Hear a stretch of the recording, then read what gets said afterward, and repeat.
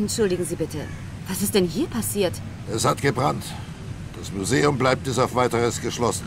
Ich suche den Restaurator des Museums, Michael Anderson. Kennen Sie ihn? Ja, der ist seit dem Brand spurlos verschwunden. Haben Sie nichts Konkreteres für mich? Einen Verdacht? Eine Adresse? Sorry, Miss. Aber über laufende Ermittlungen darf ich keine Auskunft geben. Trotzdem vielen Dank. Diese Bilder da aus der Leonardo-Ausstellung, sind die zerstört worden? Da kann ich Sie beruhigen. Die alten Meisterwerke konnten alle in Sicherheit gebracht werden. Es gibt einen feuerfesten Schutzraum im Keller, der als Archiv dient. Dann sind Sie noch im Gebäude. Sagte ich doch. Darf ich jetzt vielleicht auch mal ein paar Fragen stellen? Wer sind Sie? Was wollen Sie hier? Haben Sie etwas mit dem Museum zu tun? Nein, ich, äh, ich bin nur extra wegen der Ausstellung gekommen. Ich bin ein großer Fan von Leonardo. Ja, meine Frau auch. Haben Sie Titanic gesehen? Äh, ja, natürlich.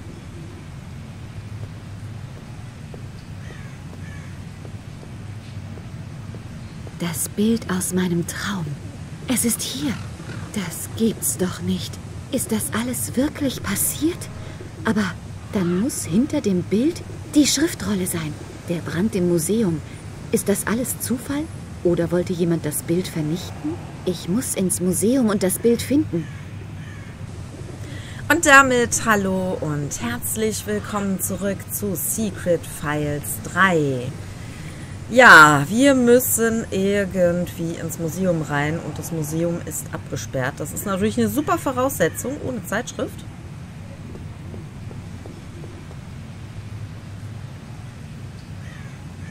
Dann habe ich hier noch eine Flasche gesehen.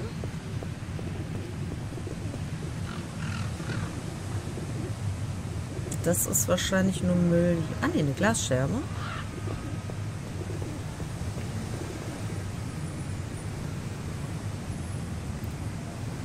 Okay. Eine Glasscherbe. Verdammt scharf. Eine leere Glasflasche mit Schraubverschluss. Das Time Magazine. Titelthema Kampf den Alltagsdrogen. Auf dem Cover ist eine Whiskyflasche.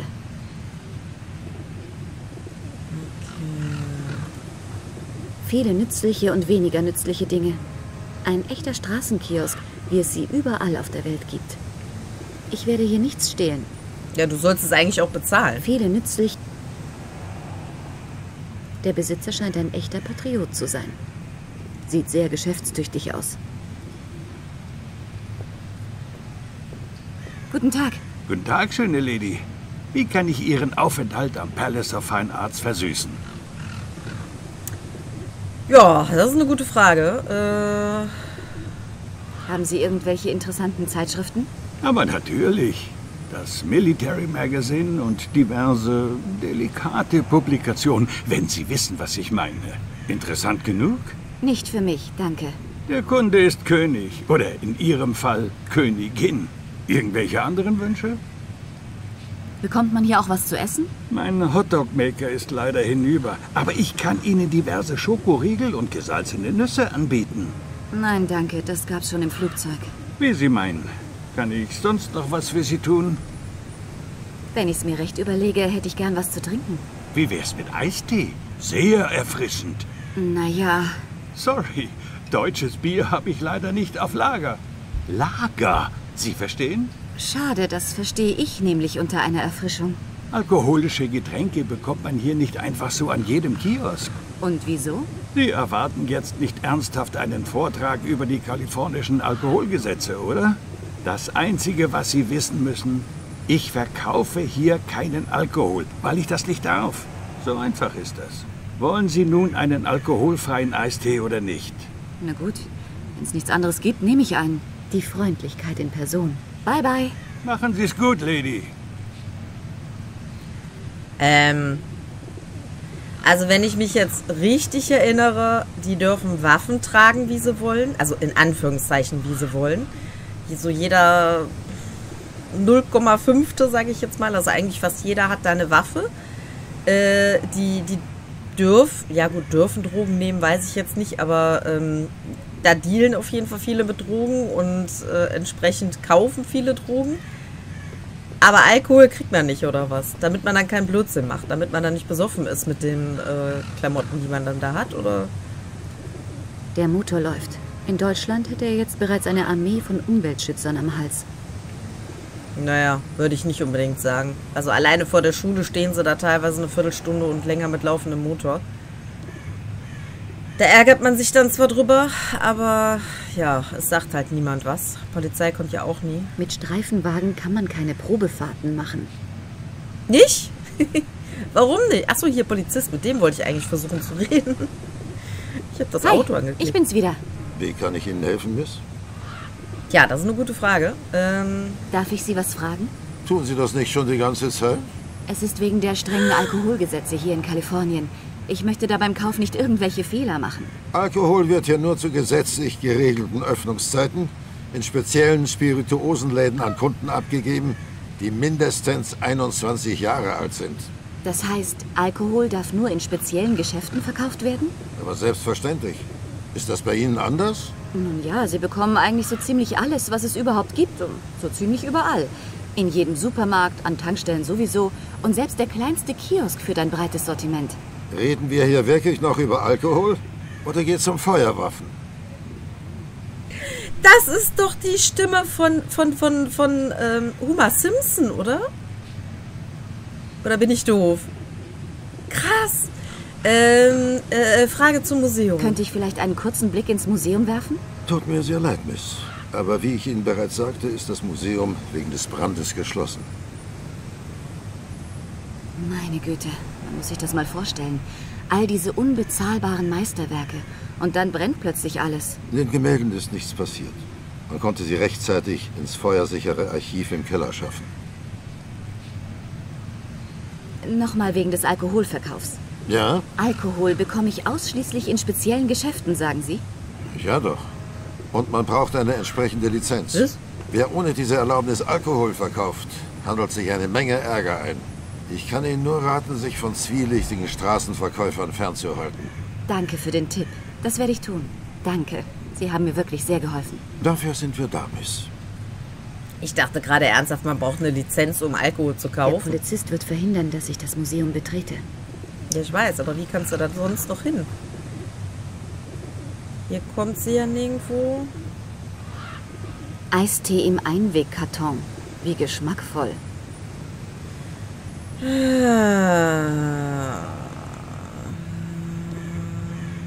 Was ist denn, wenn wir... In der Glasflasche sieht der Tee deutlich appetitlicher aus. In der Flasche ist brauner Eistee. brauner Eistee. Will der den vielleicht haben? Das Auto können wir das auch nicht drauf machen. Ah, Kofferraum. Man kann sogar einen Kofferraum einzeln. Was da wohl drin ist? Das würde der Polizist doch im Rückspiegel sehen. Nein, Nina, nein. Der würde sowas doch nie machen. Ähm. Und der Glas. Okay, das Etikett der Whiskyflasche auf dem Titelbild konnte ich sauber ausschneiden. Den Rest der Zeitschrift werfe ich weg. Ah! Moment. So wird das Etikett nicht an der Flasche kleben bleiben. Nein! Nein! Haben wir denn irgendwas, was wir hier. Äh, kann ich das anlecken oder so? Keine Ahnung. In der Pfütze nass machen. Ich feuchte das Etikett mal ein bisschen an. Ja, ja, ja. Das feuchte Papier klebt auf der Flasche.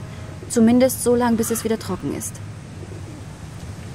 Es tut mir leid, lieber Herr äh, Kioskverkäufer, aber ich habe einen Plan. Ach so, kann man so gar nicht. Muss ich mit dem reden? Hi, ich bin's wieder. Wie kann ich Ihnen helfen, Miss? Nochmal wegen des Alkoholverkaufs. Deswegen Ja? stand das Alkohol so. bekomme ich ausschließlich in speziellen Geschäften, sagen Sie? Ja doch. Und man braucht eine entsprechende Lizenz. Wer ohne diese Erlaubnis Alkohol verkauft, handelt sich eine Menge Ärger ein. Ich kann Ihnen nur raten, sich von zwielichtigen Straßenverkäufern fernzuhalten. Danke für den Tipp. Das werde ich tun. Danke. Sie haben mir wirklich sehr geholfen. Nein! Dafür sind wir da, Miss. Nein! Könnte man tatsächlich für eine echte Whiskyflasche halten. Ja, aber der, äh, der will die ja nicht. Oder müssen wir die hier reinschmuggeln? Irgendwie. Das wäre natürlich auch noch eine Option, dass wir den dann... Wenn ich mich vorsichtig von der Seite nähere, kann ich meine Whiskyflasche unbemerkt zwischen die anderen Waren legen. Hm. Hm. Ich kann nicht mehr reden, ich habe einen zu großen Schluck Kaffee genommen gerade. Jetzt Hi, aber. ich bin's wieder. Wie kann ich Ihnen helfen, Miss? Ich muss Genau. noch mal auf die Sache mit der Verkaufslizenz für Alkohol zurückkommen. Was ist damit? Wie erkenne ich so einen lizenzierten Laden eigentlich? Das ist einfach. Am Schild über der Tür mit der Aufschrift Liquor Store. Nicht zu übersehen. Ach so. Dann kann ich also davon ausgehen, dass der Kioskbetreiber dort drüben keinen Alkohol verkaufen darf. So ist es. Dort werden Sie keinen Alkohol bekommen. Die Geschäfte müssen nämlich einbruchssicher sein. Deswegen fehlt auch das angesprochene Schild. Ich habe dort in der Auslage aber Alkohol gesehen. Wiederholen Sie das. Naja, ich kenne mich zwar nicht so gut aus, trinke nur hin und wieder mal einen Schluck Bier, aber das dort sieht mir doch verdächtig nach einer Flasche Whisky aus. Also falls das stimmt, dann... Ich werde mir das mal näher anschauen. Ups. Der Officer wird bestimmt bald merken, dass es sich nur um einen harmlosen Streich handelt. Zumindest hoffe ich das für den Verkäufer. Ja. Können wir jetzt noch schnell irgendwas mit dem Polizeiauto Mit machen? Streifenwagen kann man keine Probefahrten machen. Ja, dann guck wenigstens mal in den Kofferraum rein, Nina. Oh, der hat schon geschlossen. Der Polizist ist aushäusig. Eine gute Gelegenheit, einen Blick in den Kofferraum zu werfen. Aushäusig. Wie gewählt sich Ich unsere steck mal Nina alles ein, wofür ich. Verwendung haben könnte. Mach das. So, und jetzt vorsichtig wieder schließen. Ich wollte gerade sagen. Äh, Bolzenschneider, ja, den können wir bestimmt auch gebrauchen. So, das sieht aber cool aus hier. Metalltür. Dahinter verbirgt sich laut Plakette ein Notstromaggregat. Okay. Die Tür ist mit einem dicken Vorhängeschloss gesichert. Macht nix, wir haben Bolzenschneider dabei.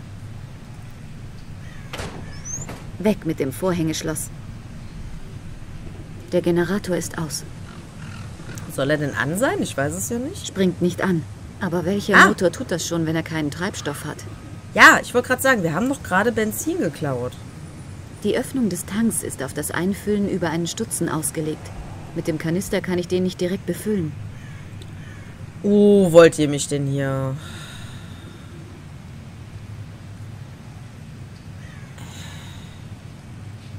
Ah! Wie, wir können den nicht direkt befüllen. Ähm, ja, da müssen wir erstmal gucken, was ist Da denn muss das Feuer ausgebrochen sein. Ja, jetzt wo es es sagt, äh, scheint mir auch so. Ich komme da nicht hoch. Nee, echt?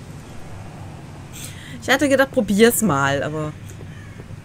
Da ist der Eingang, Poster, das ist alles ein Werbung Poster. für eine Ausstellung über Leonardo da Vinci. Und das Gemälde auf dem Plakat kenne ich nur zu gut. Die Madonna Benoit. Wie der Polizist gesagt hat, alle Bilder wurden in Sicherheit gebracht. Ich muss die Madonna Benoit finden, hinter der Da Vinci einst die geheime Botschaft des Archimedes versteckt hat. Da ist sie wieder, die Flugmaschine. Oben, okay, oben, Ausgang, Nischen. Hier hingen wohl die Gemälde, bevor das Feuer ausgebrochen ist. Darunter auch Da Vincis Madonna Benoit. Ja, wir müssen theoretisch ins Archiv. Ich denke mal in den Keller, ne? Ich weiß nicht, ob er gesagt hat, das ist im Keller. Hier hingen wohl die Gemälde, darunter auch Ja, ja, ja. Gehen wir erstmal nach unten. Sicherungskasten. Oh nein, oh nein. sehr überschaubar. Da war gerade was mit dem Code, ne? Lichter und... Kann ich aber nicht drücken. Nichts passiert. Die Sicherung springt wieder raus. Nichts passiert. Ja, wegen dem draußen. Die Sicherung ne? springt wieder raus. Aber das kann ich doch nicht befüllen. Dann schauen wir uns erstmal ein bisschen um. Eine feuerfeste Metalltür. Wahrscheinlich hat man die Gemälde in diesen Raum gebracht, als das Feuer ausgebrochen ist. Die Tür ist mit einem elektronischen Kartenschloss gesichert. Ja, sowas dachte ich mir schon. Dann gehen wir erstmal die Treppen hoch und hier rein. Das ist das Fenster. Komplett verzogen. Die bekommt man wohl selbst mit einem Brecheisen nicht mehr auf. Aber vielleicht... Ach nee, wir haben gar keinen Schürhaken mehr. Ah. Ah. Ja, aber sonst... Moment, unten... Achso, unten. Ja, ja. Der zeigt mir jetzt alles nur noch mit unten an, wenn ich hier unten was anklicke, ne?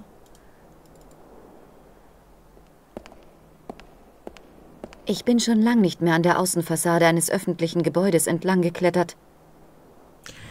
Ah, okay.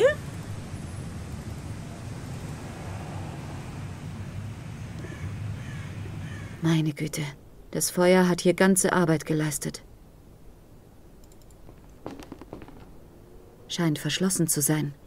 Ja, es ist immer alles verschlossen. Da ist ein Brillengestell. Und ein Blumentopf. Können wir den mitnehmen? Nee, schade. So. Keine Ahnung, warum der Schreibtisch nicht so stark verbrannt ist wie der Rest des Raums. Ja, streng genommen könnte das ein feuerfester Schreibtisch sein, ne? Alles ein Opfer der Flammen. Okay, was haben wir denn hier? Den werden wir wahrscheinlich nicht brauchen. Den dürfen wir nicht.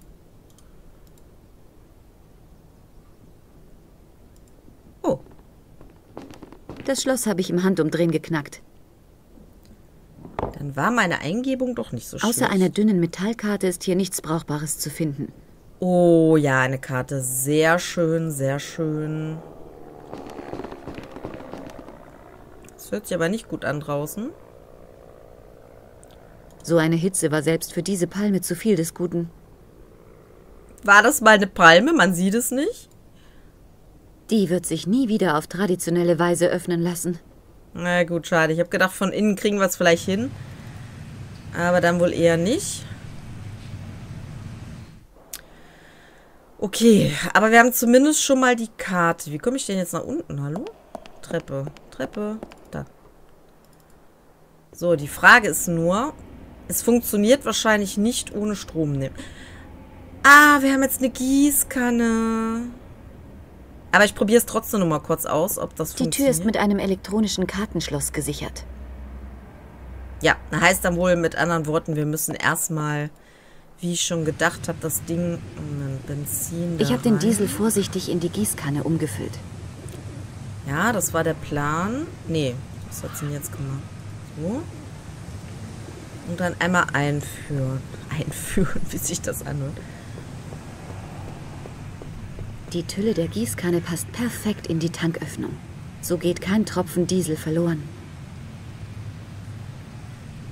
Okay, dann nehmen wir jetzt wieder rein. Äh, nein. Ach. Uh, ich bin so blöd, was man nicht im Kopf hat, ne? Wir müssen das doch noch anmachen.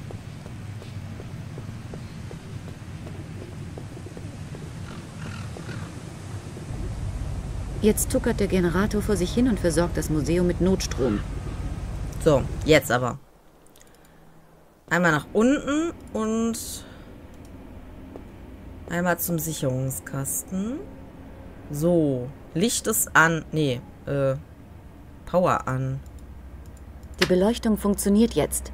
Allerdings ist dafür die Sicherung für die Steckdosen wieder rausgeflogen. Das Notstromaggregat ist wohl nicht in der Lage, Beleuchtung und Steckdosen gleichzeitig mit Energie zu versorgen. Ähm, okay. Ist das jetzt schlimm?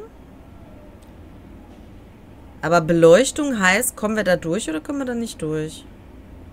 Ohne Strom kann die Schlüsselkarte nicht eingelesen werden. Aha. Hat das denn irgendeine Bewandtnis, dass wir jetzt hier Strom haben? Gucken wir nochmal. Ähm, Die Steckdosen sollten jetzt wieder funktionieren. Allerdings ist dafür die Sicherung für die Beleuchtung wieder rausgeflogen. Das Notstromaggregat ist wohl nicht in der Lage, Steckdosen und Beleuchtung gleichzeitig mit Energie zu versorgen. ja, ja, ja. Ich befürchte, wahrscheinlich handelt es sich um den Raum danach, oder? Wir müssen den erst aufschließen und dann das Die Licht Tür ist mit einem elektronischen Kartenschloss gesichert. Ja, deswegen sollst du die Schlüsselkarte benutzen.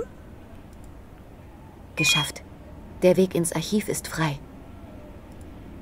Dieser Raum hat keine Fenster.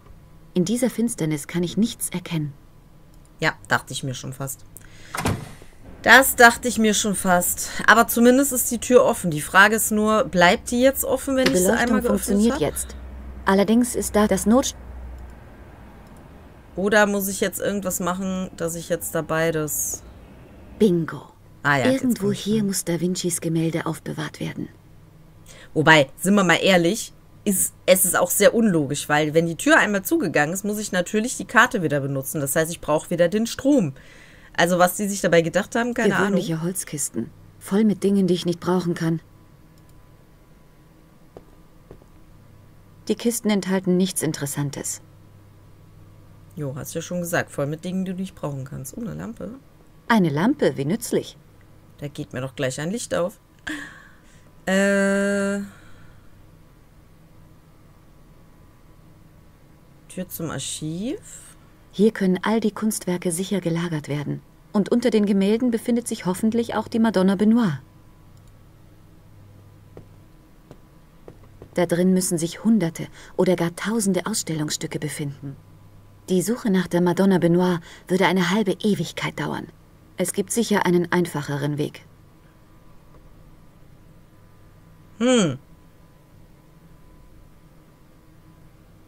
Einfacher wäre das Ganze einfach Elektronik, elektronisch anzugucken. Und siehe da, da haben wir schon einen PC.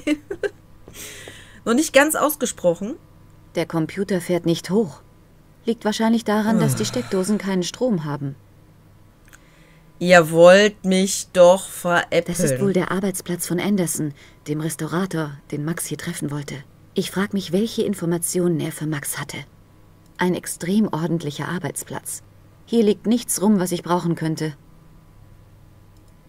Ohne Strom tut sich da nichts. Oh, ich habe aber keine Taschenlampe oder irgendwas. Sonst würde ich ja mit Taschenlampe hier rumlaufen. Ach doch, Moment, ich habe eine Schreibtischlampe. Der Schirm fehlt, aber sonst scheint die Lampe in Ordnung zu sein.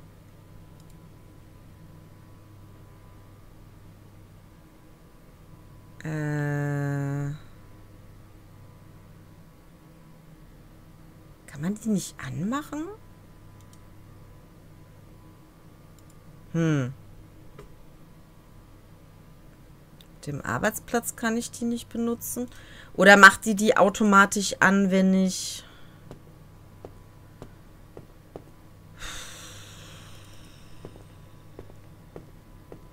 Die Kisten enthalten nichts Ja, ja, ja. Interessantes. Ist ja gut.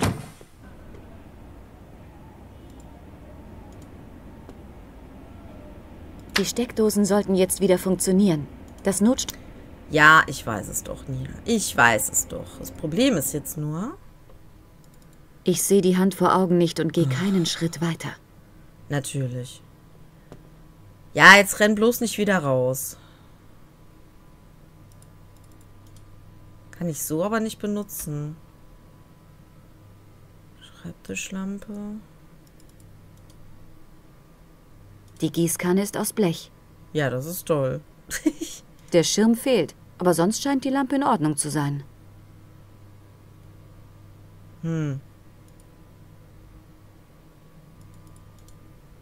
Das Handy benutzen kann Mein. Mobiltelefon.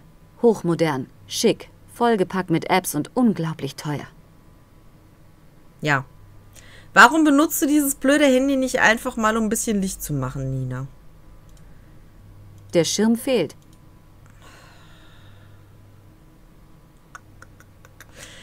Also sie will definitiv keine Lampe anmachen. Oder kann es nicht. Die Ich hab Beleuchtung keine funktioniert. Das Not Ahnung. Ja, ja, ja. Hm.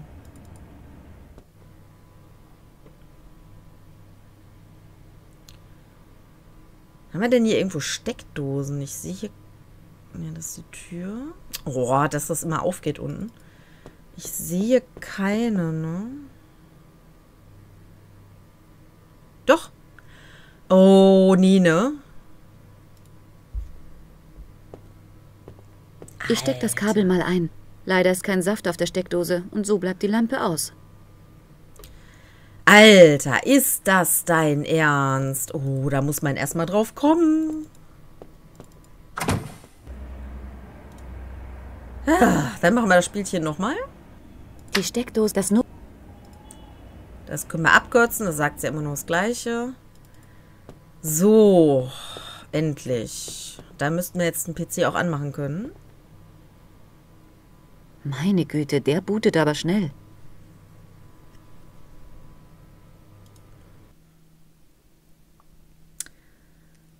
Ähm, Nach welchem Künstler soll ich suchen? ah, man kann es aussuchen, sehr schön. Kein Treffer. Offenbar habe ich bei den Eingaben was falsch gemacht. Geben Sie bitte den Künstler. Ach so, müssen wir alles eingeben. Uh, weiß ich denn, aus welchem Jahr das gewesen Nach welchem ist? Gemälde soll ich suchen? Ja, die, die auf jeden Fall. Welches Entstehungsjahr soll ich auswählen? Ich weiß es nicht, keine Ahnung. Ja, ich weiß jetzt, wo die Madonna Okay. Benoit aufbewahrt wird. Dann will ich sie mal holen. 1477 war richtig, sehr schön. Meine Güte, da drin kann man sich ja heillos verlaufen. Aber ich habe gefunden, was ich gesucht habe. Bin gespannt, was für ein Geheimnis das Gemälde birgt. Okay. Die Madonna Benoit. Bin gespannt, welches Geheimnis sich hinter ihr verbirgt. Leider kann ich auf den ersten Blick nichts Verdächtiges entdecken. Das heißt, wir müssen ein jahrhundertealtes Gemälde kaputt machen? Oh nee, dürfen wir nicht. Ach, ach. Nein, ich habe eine andere Eingebung. Weil jetzt funktioniert Ein ja auch das... Ja, ist ja gut. Jetzt funktioniert ja auch das Ich sollte erst das. Gemälde, das ich röntgen möchte, reinstellen. Ja, dann nehmen wir erst das Gemälde. Da nehme ich mal an. Natürlich. Anderson hat das Gemälde durchleuchtet und dabei Da Vincis Geheimnis gelüftet. So schwer kann das eigentlich nicht sein. Ich versuch's mal. Wenn man weiß, was man tut, ist das sicher nicht schwer. Was ist das denn? Was. Was passiert hier?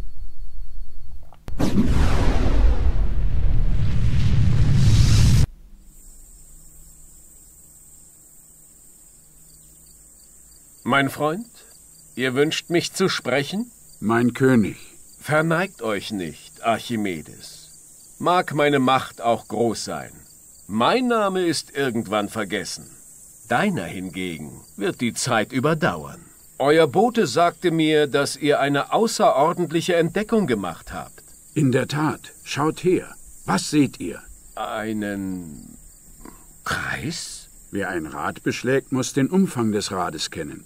Wer eine Säule mit einem Kranz schmücken will, muss wissen, wie groß der Umfang dieser Säule ist. All dies lässt sich nur mit Hilfe der Kreiszahl bestimmen, die allerdings seit jeher nur auf Schätzungen beruht. Niemand wusste, wie man sie genauer berechnen kann. Ihr habt die Formel gefunden? Großartig! Unsere Baumeister werden es euch danken. Verzeiht, mein König, aber hier geht es um weit mehr als den praktischen Nutzen für das Handwerk. Diese Formel birgt die Ewigkeit. Ihr sprecht in Rätseln.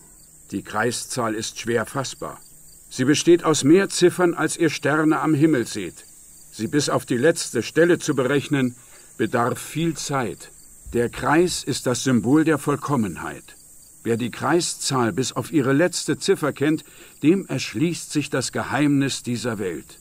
Entschlüsseln wir diese Zahl, so blicken wir in das Antlitz der Götter. Ihr wart mir stets ein treuer Freund. Und ihr wisst, dass ich eurem Urteil vertraue. Wenn ihr einen Gehilfen für die Berechnung braucht, so genügt ein Wort. Nicht einen, mein König. Die Berechnung dieser Zahl wird mehr Zeit in Anspruch nehmen als der Bau der Pyramiden. Wir brauchen Tausende.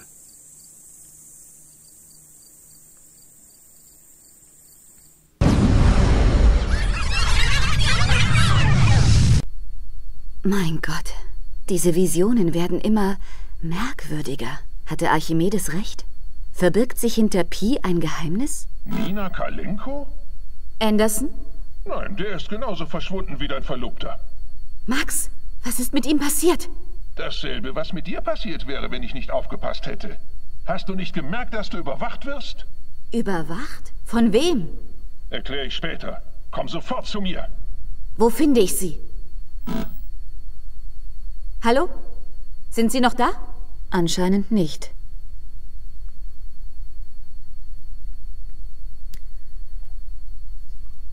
Wollte gerade sagen, kann ich wieder was machen? Ähm, Ein QR-Code? Das sind doch diese Dinger, die man einscannen kann, ne?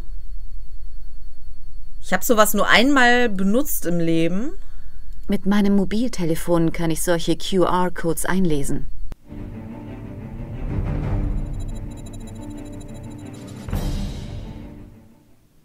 Hm. Cassandra?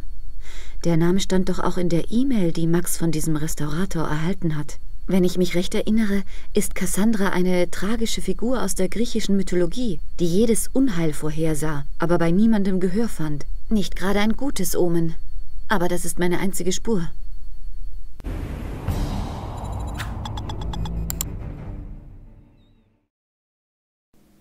Vielen Dank für dein Like. Wenn du mehr davon sehen möchtest, dann darfst du mich auch gerne abonnieren.